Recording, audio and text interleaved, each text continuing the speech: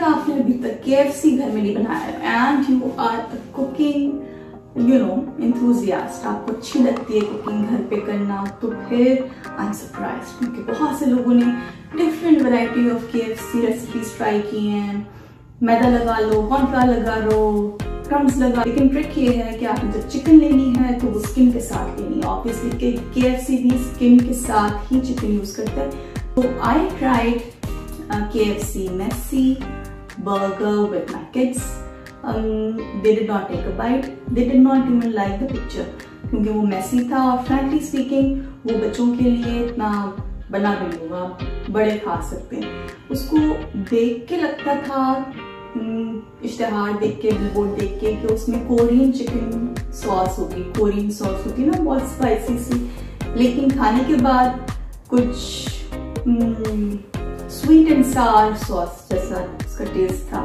And uh, अपनी अपनी choice है some like it some did not majority did not but on the reason is because K F C जाकर we expect की कोई चीज़ crunchy से मिलेगी crunchy and you know crispy so it is not crunchy and it is not crispy so I am to share this recipe अगर आपने वैसे ही के बर्गर खाना है तो जस्ट उमेट सॉस सॉस ना डालें और बाकी रेसिपी आज इट ट्राई करें।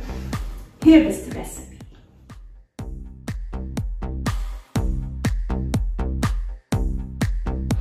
style burger के लिए हमें चाहिए chicken thigh pieces with skin इसको पतला पतला कटवा लें और इसमें हम मैरिनेशन के लिए शामिल करेंगे दूध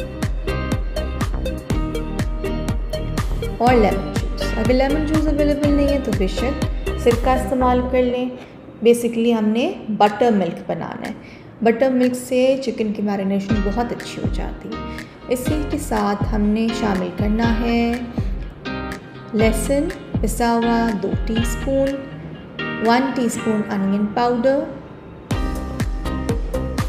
salt हसब जायका और काली मिर्च पाउडर एज पर टेस्ट इन सारे स्पाइसेस को आप अच्छी तरह से चिकन में मिला लें। और हम अब इस चिकन को अलग से रख देंगे ताकि ये सारे स्पाइसेस इसके अंदर जज्ब हो जाएँ। कम अज़ कम इसको आपने एक घंटे के लिए रखना है। ज़्यादा हो जाए तो और भी अच्छी बात है। अच्छा अब एक सेपरेट बोल में हमने मैदा लेना है, दो कप मैदा and two tablespoon cornflour इसी के साथ सॉल्ट एंड वाइट पेपर ये सारे स्पाइसेस इसमें यकजा हो जाए तो उसके लिए ज़रूरी है कि आप उसको विस्क कर लें। अच्छी तरह से विस्क कर लें ताकि सॉल्ट एंड वाइट पेपर का टेस्ट मैदे में साथ साथ आ जाए। अब हमने मैरिनेट की हुए चिकन फिले को इसी फ्लावर मिक्सचर में डिप करना है। आप साथ साथ दूध भी आएगा, दूध अगर कम पड़ रहा हो तो बेशक थोड़ा सा पानी छिड़क लें। इससे आपका जो बैटर है वो इसके अंदर पूरी तरह से कंबाइन हो जाएगा। आ, गिरेगा नहीं और सही तरह से कोटिंग बड़े मज़े की हो जाएगी। बिल्कुल K F C type zinger fillet की तरह। आप इसको बेशक फ्रिज में रख लें फ्रीज़ कर लें। बाद में यूज़ के लिए अच्छा for the sauce for that special sauce अगर आपको पसंद है मैसी बर्गर की सॉस तो this is what I suggest मैंने peri peri chicken sauce readymade ली है। इसमें paprika powder red chilli flakes और red sauce and brown sugar brown sugar क्योंकि उसमें एक मीठा मीठा सा टेस्ट भी आ रहा था के एफ़ सी के मैसी बर्गर में। इसके साथ ही आपने ये सब चीज़ें डाल के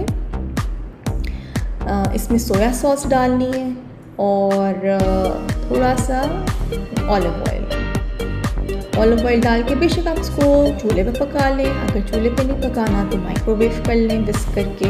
ये हमने गरम गरम हमारे पास सॉस होनी चाहिए। अब हम फ्राई करेंगे अपने chicken fillet for the burgers मैंने फ्रैंकली इसको फ्रीज़ किया था क्योंकि मैंने अगले दिन इसको बनाने थे और मैं गरम ऑयल में, आपने कढ़ाई में ऑयल डालना और इसको कम अज़ कम पाँच दस मिनट तक के लिए आपने ऑयल को गरम आँच पे तेज़ आँच पे गरम करना। उसके बाद हम इसे फ्राई करेंगे for another five to seven minutes और ये देखें हमारे जिंगर फिले बिल्कुल सही तरह से फ्राई हो गए के एफ़ सी स्टाइल हमने गरम गरम ही फिले को डिप कर लेना है into the sauce that is messy burger specific आप बन लें बन में सलाद का पत्ता डालें। अगर लेटस प्रेफर करते हैं तो बेशक लेटस रख लें, उसके बाद आपने चिकन रखनी है। चिकन के ऊपर अनियंस को स्प्रेड कर दें। मुझे बर्गर्स पे अनियंस वैसे बहुत मज़े के लगते हैं मैसी बर्गर और एनी अदर बर्गर इसके साथ ही आप टमाटर रख लें। टमाटर के ऊपर हमें चीज़ का स्लाइस रखना है। चीज़ के एफ़ सी ने नहीं डाली थी but I like cheese in my burg so I am going with it and we are going to top it with O and then finally our burger is ready I hope you enjoy this recipe do let me know comments take care